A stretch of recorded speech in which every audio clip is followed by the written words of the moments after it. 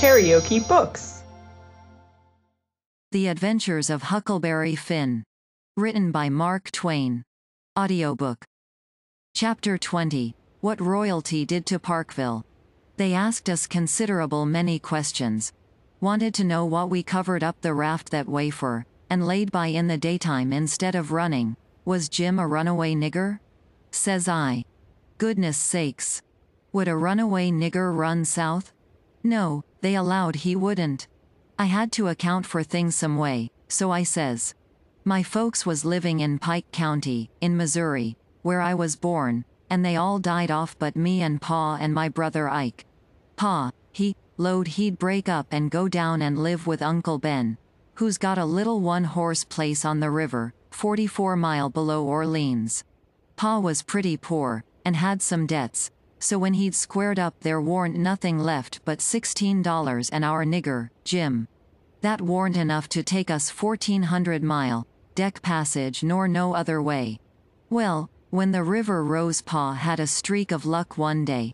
He catched this piece of a raft, so we reckoned we'd go down to Orleans on it. Pa luck didn't hold out. A steamboat run over the for'ard corner of the raft one night, and we all went overboard and dove under the wheel. Jim and me come up all right, but Pa was drunk, and Ike was only four years old, so they never come up no more. Well, for the next day or two we had considerable trouble, because people was always coming out in skiffs and trying to take Jim away from me, saying they believed he was a runaway nigger. We don't run daytimes no more now, nights they don't bother us. The Duke says. Leave me alone to cipher out a way so we can run in the daytime if we want to. I'll think the thing over, I'll invent a plan that'll fix it. We'll let it alone for today, because of course we don't want to go by that town yonder in daylight, it mightn't be healthy. Towards night it begun to darken up and look like rain. The heat lightning was squirting around low down in the sky, and the leaves was beginning to shiver. It was going to be pretty ugly, it was easy to see that. So the Duke and the King went to overhauling our wigwam, to see what the beds was like. My bed was a straw tick better than Jim's, which was a corn shuck tick. There's always cobs around about in a shuck tick, and they poke into you and hurt. And when you roll over the dry shucks sound like you was rolling over in a pile of dead leaves. It makes such a rustling that you wake up. Well, the Duke allowed he would take my bed, but the King allowed he wouldn't. He says, I should a reckoned the difference in rank would a suggested to you that a corn shuck bed warn't just fittin' for me to sleep on. Your Grace, LL take the shuck bed yourself. Jim and me was in a sweat again for a minute, being afraid there was going to be some more trouble amongst them, so we was pretty glad when the Duke says, Tis my fate to be always ground into the mire under the iron heel of oppression. Misfortune has broken my once haughty spirit. I yield, I submit. Tis my fate. I am alone in the world. Let me suffer, can bear it. We got away as soon as it was good and dark. The king told us to stand well out towards the middle of the river, and not show a light till we got a long ways below the town. We come in sight of the little bunch of lights by and by. That was the town, you know, and slid by, about a half a mile out, all right. When we was three quarters of a mile below we hoisted up our signal lantern, and about 10 o'clock it come on to rain and blow and thunder and lighten like everything. So the king told us to both stay on watch till the weather got better then him and the Duke crawled into the wigwam and turned in for the night. It was my watch below till 12, but I wouldn't ha' turned in anyway if I'd had a bed, because a body don't see such a storm as that every day in the week, not by a long sight. My souls, how the wind did scream along. And every second or two there'd come a glare that lit up the white caps for a half a mile around, and you'd see the islands looking dusty through the rain, and the trees thrashing around in the wind, then comes a h whack. Bum. Bum. Bumble umble um bum bum bum bum, and the thunder would go rumbling and grumbling away, and quit, and then rip comes another flash and another sockdolager. The waves most washed me off the raft sometimes, but I hadn't any clothes on, and didn't mind. We didn't have no trouble about snags. The lightning was glaring and flittering around so constant that we could see them plenty soon enough to throw her head this way or that and miss them. I had the middle watch, you know, but I was pretty sleepy by that time, so Jim he said he would stand the first half of it for me. He was always mighty good that way, Jim was. I crawled into the wigwam, but the king and the duke had their legs sprawled around so there warn't no show for me. So I laid outside, I didn't mind the rain, because it was warm, and the waves warn't running so high now. About two they come up again, though, and Jim was going to call me. But he changed his mind, because he reckoned they warn't high enough yet to do any harm. But he was mistaken about that, for pretty soon all of a sudden along comes a regular ripper and washed me overboard. It most killed Jim a laughing. He was the easiest nigger to laugh that ever was, anyway. I took the watch, and Jim he laid down and snored away. And by and by the storm let up for good and all. And the first cabin light that showed I rousted him out, and we slid the raft into hiding quarters for the day. The king got out an old ratty deck of cards after breakfast, and him and the duke played seven up a while, five cents a game. Then they got tired of it, and allowed they would lay out a campaign, as they called it. The duke went down into his carpet bag, and fetched up a lot of little printed bills and read them out loud. One bill said, The celebrated drive. Armand de Montalban, of Paris, would lecture on the science of phrenology at such and such a place on the blank day of blank at 10 cents admission and furnish charts of character at 25 cents apiece. The Duke said that was him. In another bill he was the world-renowned Shakespearean tragedian, Garrick the Younger, of Drury Lane, London. In other bills he had a lot of other names and done other wonderful things, like finding water and gold with a divining rod, dissipating witch spells, and so on. By and by he says. But the histrionic muse is the darling. Have you ever trod the boards, royalty? No, says the king.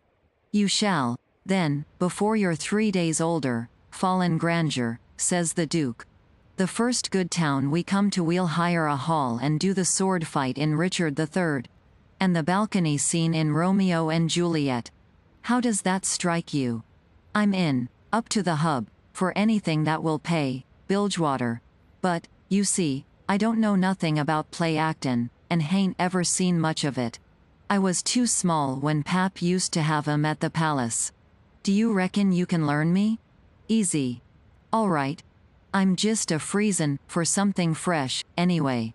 Please commence right away. So the Duke he told him all about who Romeo was and who Juliet was, and said he was used to being Romeo, so the king could be Juliet. But if Juliet's such a young gal, Duke, my peeled head and my white whiskers is goin' to look uncommon odd on her, maybe. No, don't you worry. These country jakes won't ever think of that. Besides, you know, you'll be in costume, and that makes all the difference in the world. Juliet's in a balcony, enjoying the moonlight before she goes to bed, and she's got on her nightgown and her ruffled nightcap. Here are the costumes for the parts. He got out two or three curtain calico suits, which he said was medieval armor for Richard III. And t'other chap, and a long white cotton nightshirt and a ruffled nightcap to match. The king was satisfied, so the Duke got out his book and read the parts over in the most splendid spread eagle way, prancing around and acting at the same time, to show how it had got to be done. Then he gave the book to the king and told him to get his part by heart.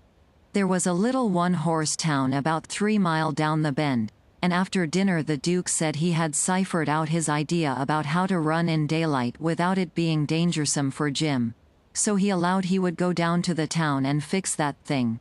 The king allowed he would go, too, and see if he couldn't strike something. We was out of coffee, so Jim said I better go along with them in the canoe and get some. When we got there there warn't nobody stirring, streets empty, and perfectly dead and still, like Sunday. We found a sick nigger sunning himself in a backyard, and he said everybody that warn't too young or too sick or too old was gone to camp meeting, about two mile back in the woods. The king got the directions, and allowed he'd go and work that camp meeting for all it was worth, and I might go, too. The Duke said what he was after was a printing office. We found it. A little bit of a concern. Up over a carpenter shop. Carpenters and printers all gone to the meeting, and no doors locked. It was a dirty, littered up place, and had ink marks, and handbills with pictures of horses and runaway niggers on them, all over the walls. The Duke shed his coat and said he was all right now. So me and the king lit out for the camp meeting. We got there in about a half an hour fairly dripping, for it was a most awful hot day. There was as much as a thousand people there from 20 mile around. The woods was full of teams and wagons, hitched everywheres, feeding out of the wagon troughs and stomping to keep off the flies.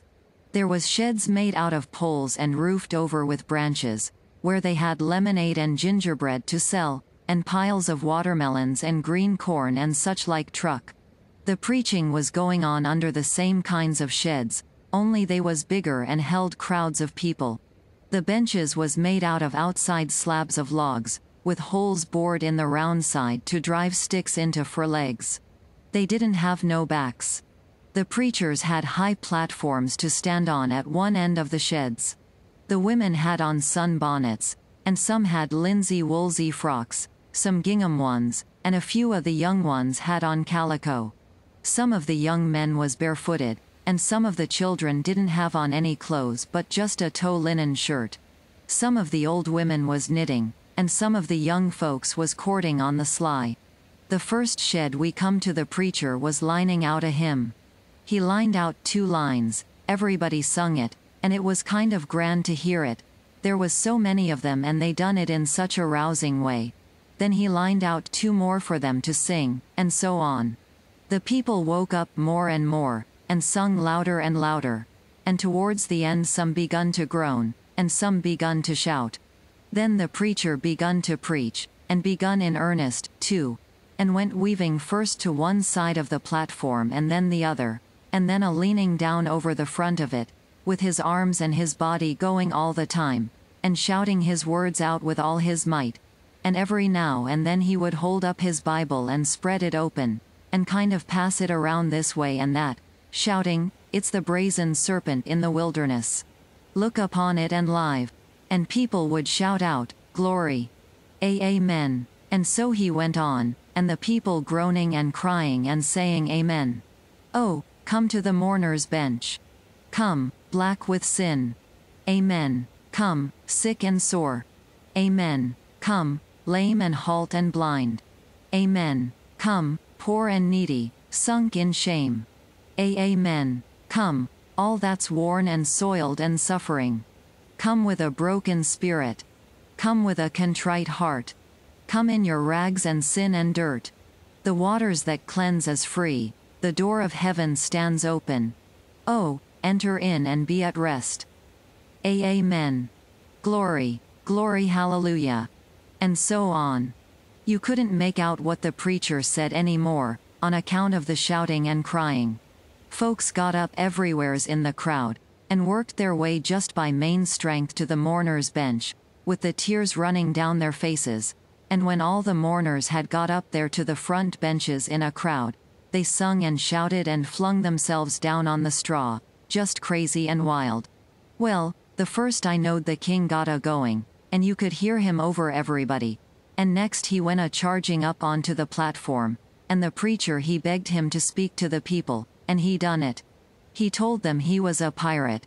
Been a pirate for 30 years out in the Indian Ocean, and his crew was thinned out considerable last spring in a fight and he was home now to take out some fresh men. And thanks to goodness he'd been robbed last night and put ashore off of a steamboat without a cent. And he was glad of it. It was the blessedest thing that ever happened to him because he was a changed man now and happy for the first time in his life. And poor as he was he was going to start right off and work his way back to the Indian Ocean and put in the rest of his life trying to turn the pirates into the true path for he could do it better than anybody else being acquainted with all pirate crews in that ocean. And though it would take him a long time to get there without money he would get there anyway. And every time he convinced a pirate he would say to him don't you thank me. Don't you give me no credit. It all belongs to them dear people in Pokeville camp meeting natural brothers and benefactors of the race and that dear preacher there. And then he busted into tears and so did everybody.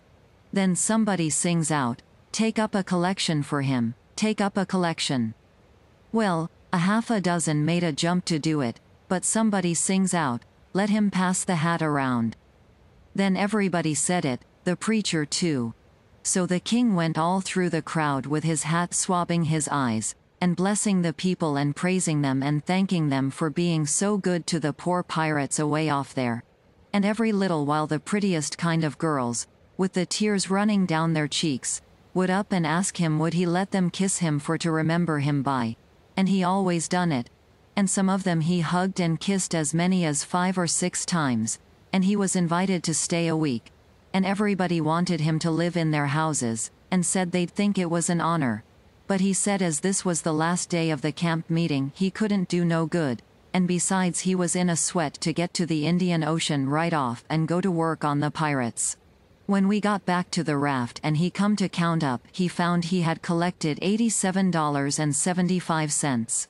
And then he had fetched away a three-gallon jug of whiskey, too, that he found under a wagon when he was starting home through the woods. The king said, take it all around, it laid over any day he'd ever put in in the mission airing line. He said it warned no use talking, heathens don't amount to shucks alongside of pirates to work a camp meeting with. The Duke was thinking he'd been doing pretty well till the king come to show up, but after that he didn't think so so much. He had set up and printed off two little jobs for farmers in that printing office, horse bills, and took the money, four dollars.